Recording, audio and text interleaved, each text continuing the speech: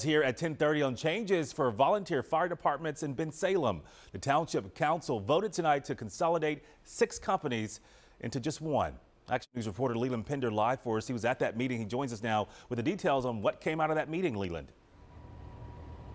Well, Gray commissioners and leaders here say this had to happen as they deal with a shortage of volunteer firefighters. This plan had been in the works for about two years and received unanimous approval from commissioners tonight.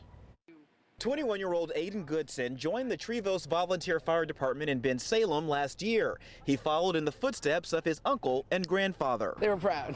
a common story of generations of volunteer firefighters at any one of the township's six independent fire companies.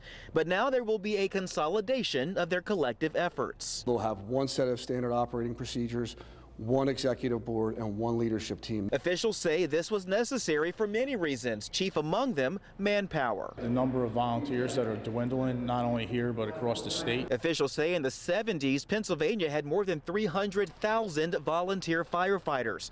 Today, that number is about 30,000. Failure to not consolidate would result in a catastrophic incident. Trevose, Cornwells, Eddington, Union, Newport, and Nottingham fire companies will now be known as the singular Bensalem Volunteer Fire Department. New chiefs and admin were sworn in Monday night at a special meeting where commissioners gave their official approval.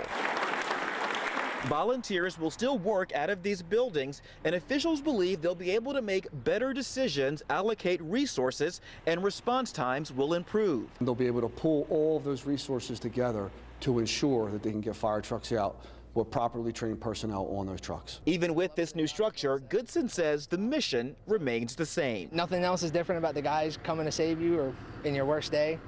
They're all still eager to help with whatever they can in the best way they can.